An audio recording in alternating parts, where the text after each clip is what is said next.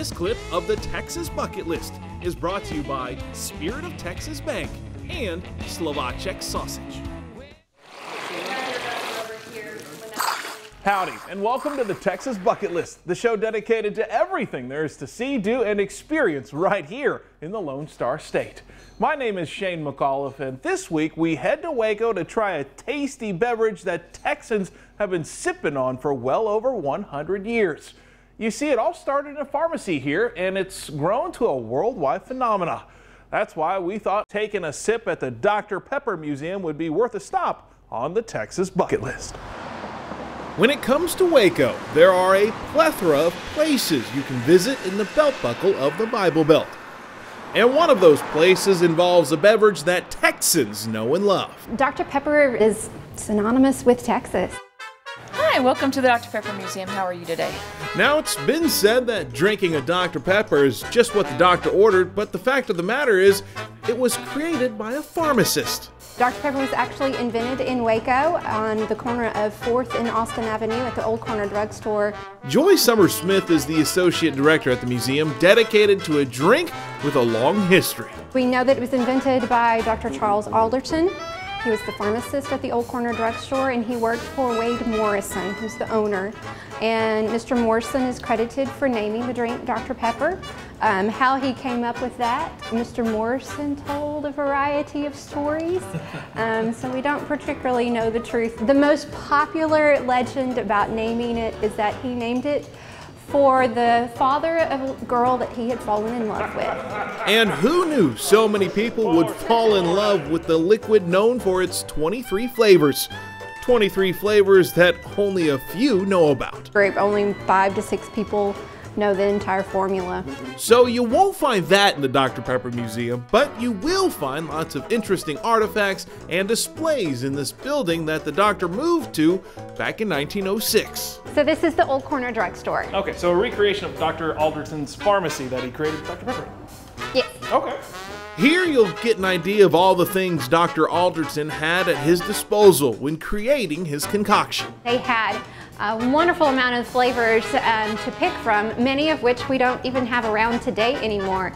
Um, things like uh, grapefruit or coffee or tea could flavor your soft drink. In this building, they actually did one that was called celery champagne that was flavored uh, with celery. So pharmacies were a little different back then because it wasn't just where you went for medicine, it was more than that.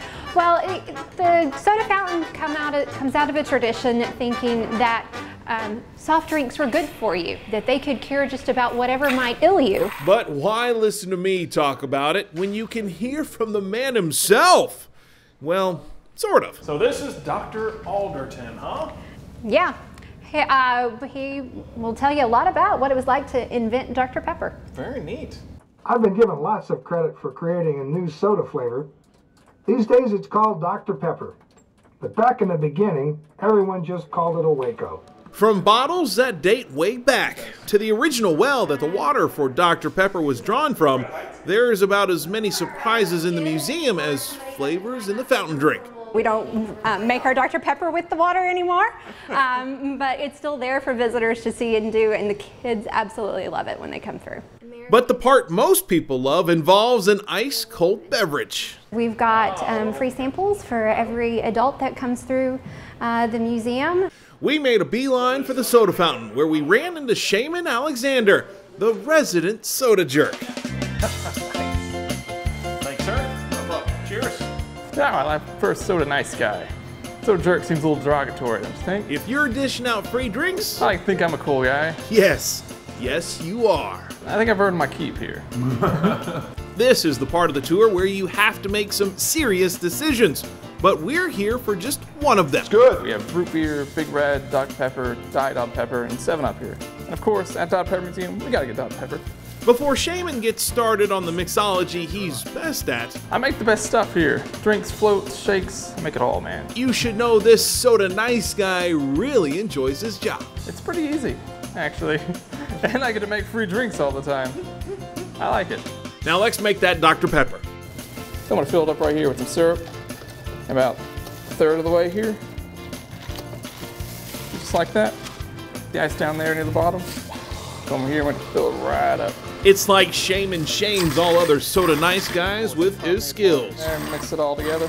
Then, after patiently waiting, we get a taste. We have Dr. Pepper. Cheers. Cheers, man.